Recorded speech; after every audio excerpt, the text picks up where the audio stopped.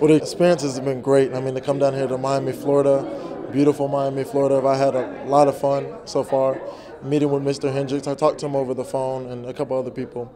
And also, I got to meet Elvis Dumervil, and he had a lot of wisdom to pour out on to me and really tell me about, about the league and everything. Going to Texas, it's a family atmosphere. I mean, that's what drew me to the University of Texas. And to come win the Hendricks Award and be a part of their family, it's an honor. I mean, guys like Jadeveon Clowney, who won it last year, Elvis Dumervil that won it before, uh, Brian Orakpo that won it, and a lot of guys that have won it before me.